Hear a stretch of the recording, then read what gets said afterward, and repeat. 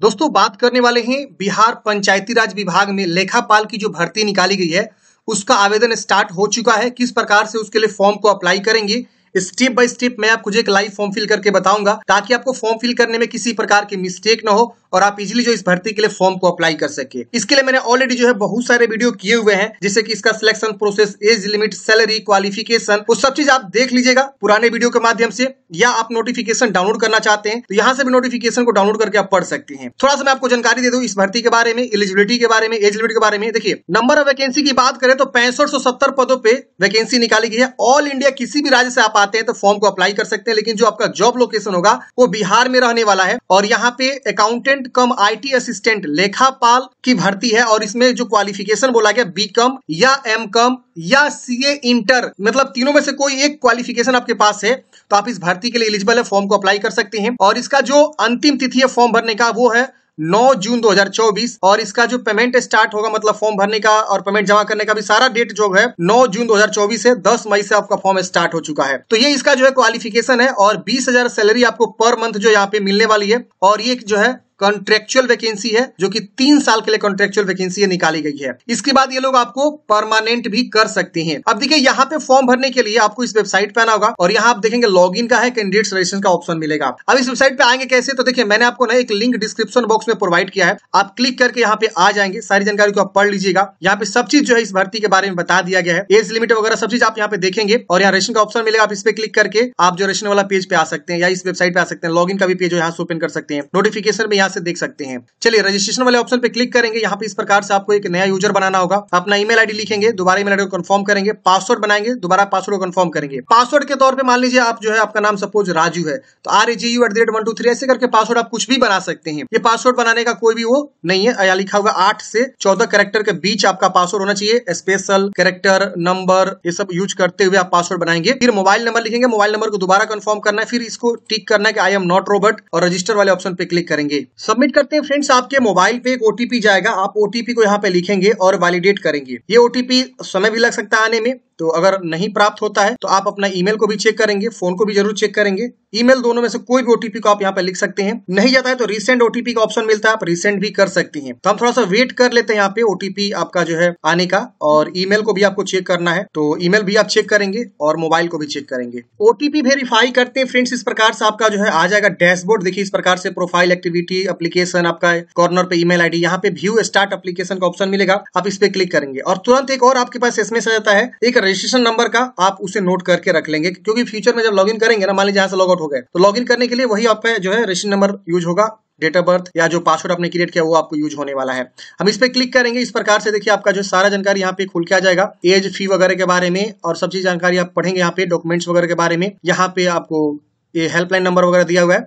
आपको यहाँ कंफर्म करना है और यहाँ पे कंटिन्यू करना है। अब यहाँ पे देखिए आपका इस प्रकार से पोस्ट आएगा। एक ही पोस्ट है अकाउंटेंट कम आईटी असिस्टेंट जिसको लेखापाल हिंदी में बोलते हैं, इसको सेव करेंगे। ये सेव होते ही डाटा सेव हो जाएगा। अब आपको सेव एंड कंटिन्यू करना है। हर बार आपको सेव करना है और उसके बाद सेव एंड कंटिन्यू करना है। अब यहाँ पे पूछ रहा है कि आप इंडियन है, आपको हाँ करना है। ये पूछ रहा है कि आपने इक्कीस वर्ष कंप्लीट कर लिया है, एक मार्च दो हज़ार चौबीस को तो आप यहाँ पे यस करेंगे। इसमें क्या है एज लिमिट जो है मिनिमम इक्कीस वर्ष रखा गया और मैक्सिमम जो है कैटेगरी वाइज आपको रखा गया है। थोड़ा सा मैं आपको एज लिमिट के बारे में बता दूँ, देखिए, यहाँ पे जो है ना जनरल मेल और ईडब्ल्यू e मेल के लिए 45 वर्ष की उम्र सीमा रखी गई है। अनरिजर्व फीमेल और ईडब्ल्यू फीमेल के लिए 48 वर्ष बीसी ईबीसी मेल फीमेल 48 वर्ष और एस सी मेल फीमेल 50 वर्ष मैक्सिमम उम्र सीमा यहाँ पे रखा गया है और मिनिमम जो है इक्कीस वर्ष आपका कंप्लीट होना चाहिए। तो एज लिमिट समझ गए, इसको भी हम यहाँ सेव करेंगे और उसके बाद यहाँ पे सेव एंड कंटिन्यू वाले ऑप्शन पे क्लिक करेंगे। अगला स्टेप हमारा पर्सनल डिटेल्स खुल के आ जाएगा। अब अगले स्टेप में यहाँ पे आपको टाइटल लगाना है mister M miss M X तो यहाँ पे आपका जो भी टाइटल लग रहा है सुटेबल वाला, वो आप अपने अकॉर्डिंग देख लेंगे मेल फीमेल के अकॉर्डिंग जो भी लगता है मैरिड अनमेरिड अकॉर्डिंग अब यहाँ पे आपको अपना फ़र्स्ट नेम फिर मिडिल नेम और लास्ट नेम यहाँ पे ध्यान देना है, जो इस प्रकार से मैट्रिक के सर्टिफिकेट पे आपका डॉक्यूमेंट्स है डॉक्यूमेंट्स अकॉर्डिंग सारी जानकारी। मानिए आपका नाम दीपक कुमार है। तो दीपक लास्ट में कुमार ऐसे ऐसे आप लिख सकते हैं। मैं एग्ज़ाम्पल लिख रहा हूँ। मान दीपक कुमार सिंह है तो दीपक यहाँ, कुमार यहाँ पे, और लास्ट में सिंह लिखिएगा ऐसे। सिर्फ़ दीपक ही नाम है, बहुत सारे लोगों का सिर्फ़ दीपक होता है। उसके बाद टाइटल वगैरह कुछ नहीं लगाता तो सिर्फ़ दीपक भी आप लिख के आगे कंटिन्यू कर सकते हैं। यहाँ डेट ऑफ़ बर्थ की चॉइस करेंगे, जो भी आपका डेट ऑफ़ बर्थ है, यहाँ से कैलेंडर से ओपन करेंगे आप। पहले आपको ईयर कन्फर्म करना, फिर मंथ फिर आपका डेट इस तरह से आपका डेट ऑफ़ बर्थ आ जाएगा। जेंडर बताएँगे। मैरिड है कि अनमेरिड है? आधार नंबर लिखेंगे। कोई स्पेस नहीं देना है। कैटेगरी बताना है। बीसी है ईबीसी है एस सी है, किस कैटेगरी से बिलोंग करते हैं, सारा कैटेगरी का नाम यहाँ पे आ रहा है। अदर स्टेट वाले कोई है तो वहाँ अनरिजर्व यहाँ पे उनका आ जाएगा। या आप अपने अकॉर्डिंग कैटेगरी चूज़ कर सकते हैं। फ़िलहाल आपने बताया कि आप जो है इंडिया के निवासी है, बिहार के निवासी है तो उसके अकॉर्डिंग यहाँ पे आएगा। विकलांग है तो यस करेंगे, वरना नो करेंगे। और आप डॉटर ऑफ़ फ्रीडम फाइटर है तो यस करेंगे, वरना नो करेंगे।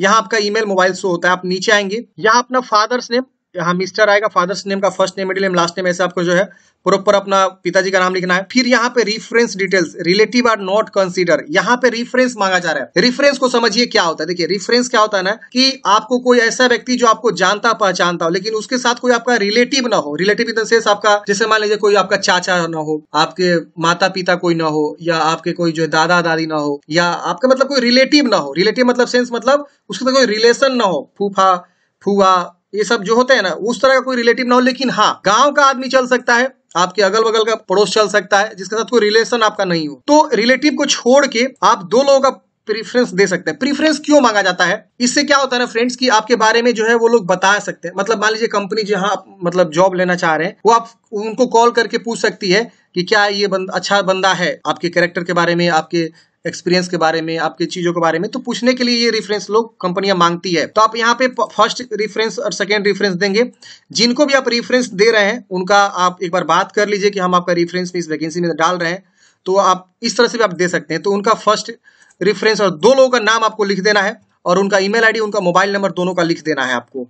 तो ये रिफरेंस जो है मांगा गया है, आप दे दीजिएगा। कोई भी हो सकता है वो जो आपको जानता, पहचानता हो, आपके बारे में जानता हो रिलेटिव को छोड़ के। अब यहाँ पे अपना पूरा एड्रेस लिखेंगे line one line two line three तीन लाइन को यूज़ करते हो आपको एड्रेस लिखना है। एग्ज़ाम्पल के तौर पर मान लीजिए आपका गाँव का नाम रामपुर है तो विलेज रामपुर, ऐसे। पोस्ट आपका मान लीजिए रामपुर है फॉर एग्ज़ाम्पल तो रामपुर यहाँ लिख दीजिए। थाना भी मान लीजिए रामेपुर है तो ऐसे। तो जो भी आपका एड्रेस है प्रॉपर लिखेंगे, तीन लाइन को यूज़ करते हुए। कोई अगर लाइन सिर्फ़ एक लाइन में लिखा है तो एक लाइन में लिख सकते हैं।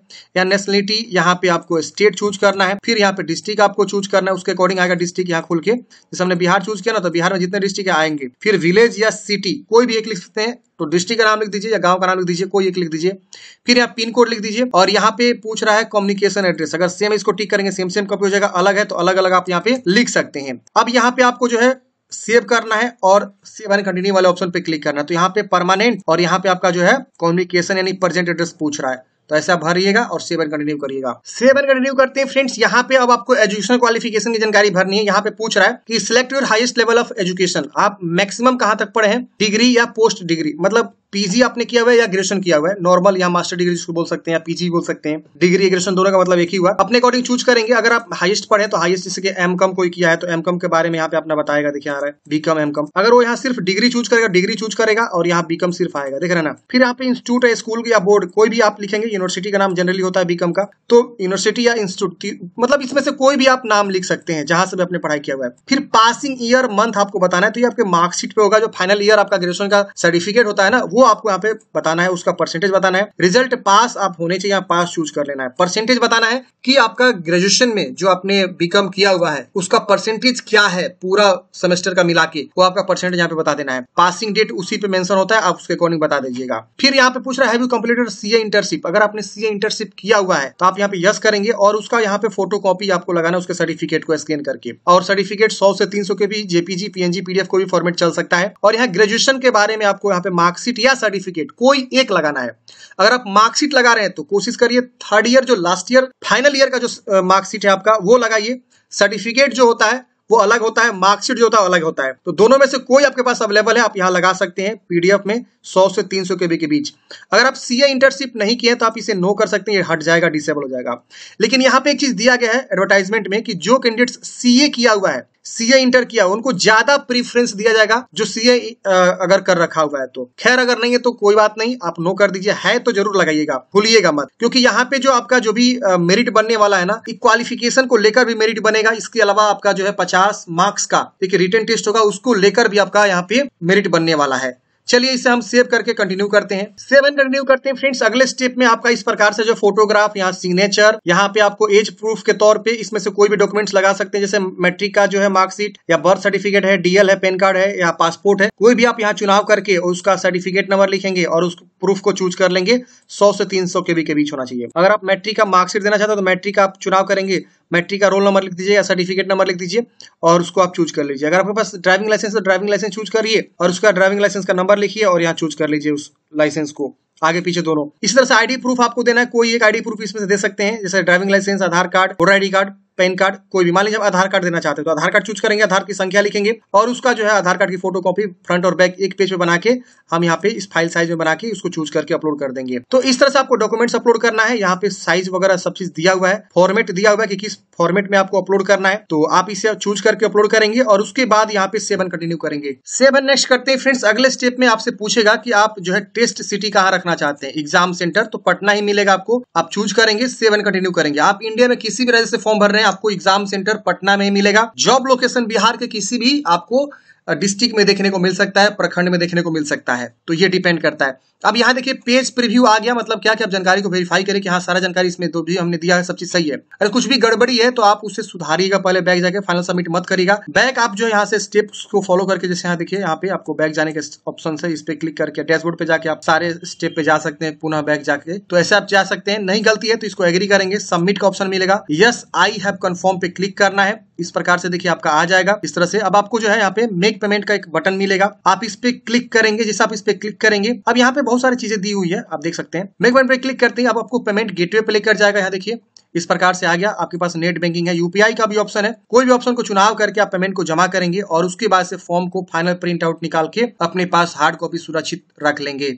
तो इस प्रकार से फ्रेंड्स आपने देखा कि आपको फॉर्म को कैसे फिल करना है। आपके मन में कोई भी डाउट्स है, कमेंट है, आप कमेंट बॉक्स में पूछ सकते हैं। बहुत ही शानदार भर्ती है फ्रेंड्स। आप लोग फॉर्म को ज़रूर भरिए और ये कॉन्ट्रेक्चुअल वैकेंसी है, लेकिन ये जो है, आपका परमानेंट होने के भी पूरे चांसेस है, क्योंकि ये वैकेंसी जो है, अभी फ़िलहाल के लिए कॉन्ट्रेक्चुअल ही निकाली गई है, जो कि यहाँ पे आपको रखा गया है, लेकिन ये परमानेंट हो सकता है। पंचायती राज विभाग की वैकेंसी है और एक योजना जो है आपका निकाला गया है, उसके अंतर्गत, जैसे आप देखेंगे बिहार ग्राम स्वराज योजना सोसाइटी, उसके अंतर्गत ये वैकेंसी जो आपकी निकाली गई है। तो आशा करता हूँ फ्रेंड्स आपको जानकारी समझ में आएगा मन में कोई भी डाउट है कमेंट बॉक्स में पूछ लीजिए देखिए यहाँ पे छत्तीस मंथ का जो है आपका आउटसोर्स कॉन्ट्रेक्चुअल बेसिस वैकेंसी यहाँ पे निकाली गई, यहाँ इंपोर्टेंट नोट्स में आपको लिखा गया है। और अप्लीकेशन फ़ी वगैरह भी यहाँ पे लिखा गया, आप यहाँ पे चेक कर पाएँगे। और बाकी सब चीज़ हमने आपको बता ही दिया ओवरऑल तो आपको जानकारी मिली होगी, मिलते हैं नेक्स्ट वीडियो में। जय हिंद, आपका दिन शुभ